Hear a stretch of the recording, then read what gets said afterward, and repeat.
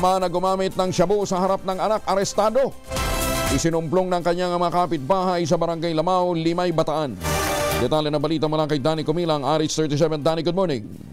Kalaboso ang isang 46 anyos na ama matapos mahuli ito umano sa akto ng mga otoridad na gumagamit ito ng droga sa harap mismo ng kanyang mga anak sa Riverside, Barangay Lamau, Limay, Bataan, ala 1.50 na madaling araw. Ayon sa report mula kay Limay Chief of Police, Police Major Madayb Jalman, isang kapitbahay ang nag-ulat sa kanila na gumagamit ito ng droga sa loob mismo na kanilang tahanan na agad naman itong pinuntahan sa panguna ni Deputy Police Captain Eduardo Conchada Jr. at nahuli ito sa akto.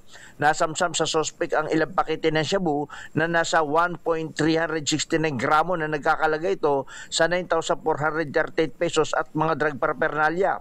Sinabi ng mga anak na nagsabi umano ang kanilang ama sa kanila na huling gamit na ni ito ng droga.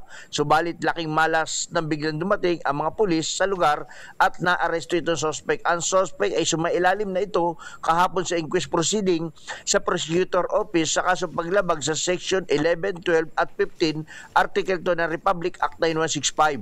Dani Kumilang, RS37, DCRH, una sa Pilipinas, una sa Pilipino.